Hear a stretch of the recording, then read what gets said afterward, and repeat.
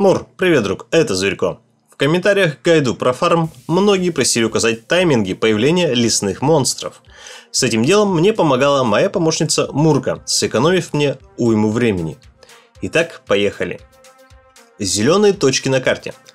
Гаргулья, центр, появляется на 31 секунде и респавнится через 70 секунд от своей смерти.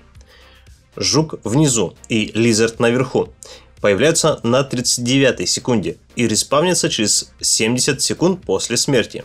Сознательно не говорю бот, мид, топ, чтобы новички тоже понимали. Желтая точка.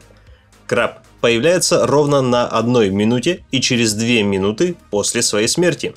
Фиолетовая точка.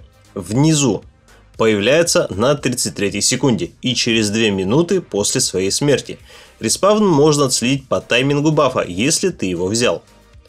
На центре, там где два монстра, появляются на 33 секунде и через 2 минуты после убийства последнего монстра.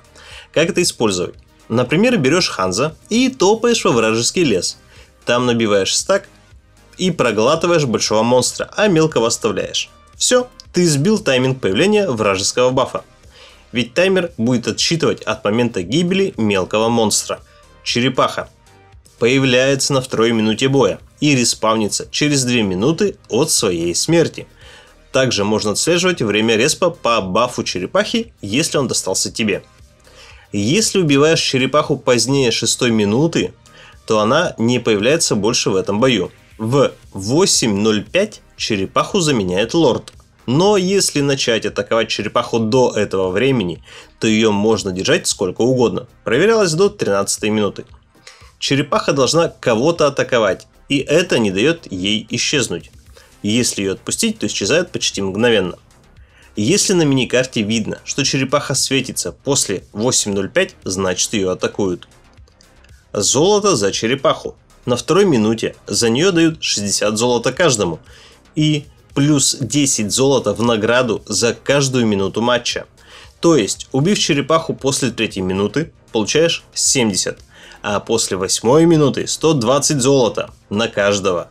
Но если умудриться каким-то волшебным образом продержать черепаху больше, чем 12 минут боя, то 160 голды каждому.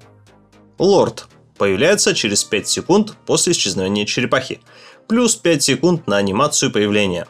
Если черепаху убивали во время появления лорда, то он появится после второй минуты от убийства черепахи, плюс 5 секунд анимация появления.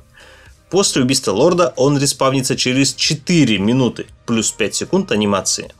Кстати, если лорда долго держать на линии, то без проблем появляется еще лорд, через законные 4 минуты. Ну и куда без интересной фичи. Урон лорда, хоть и отображается белым, он режется об броню. Лишь только урон навыками по-настоящему чистый. Это круговой удар топором и призыв фонтана. Эти два удара наносят полный урон по хп. Ну и вдогонку. Эксперимент с ножом для леса. Помогает переводчик Торай. Три забега. Первый забег. Оба без ножа. Добивает Фрея. Второй. Добивает Дариус, но Фрея с ножом. И в третьем добивает монстров Фрея с ножом.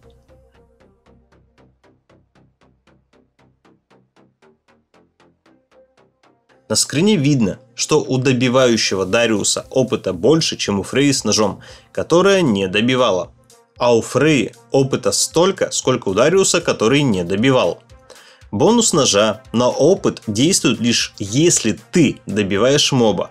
Значит, если ты играешь с другом, то покупать два ножа, стоя на одной линии, не очень полезно, разве что ускорение убийства лесного моба. На этом все. Надеюсь, эта информация для тебя была полезной. А если и не так, то все равно подписывайся на канал и ставь свою чудесную лапку. Удачи, друг!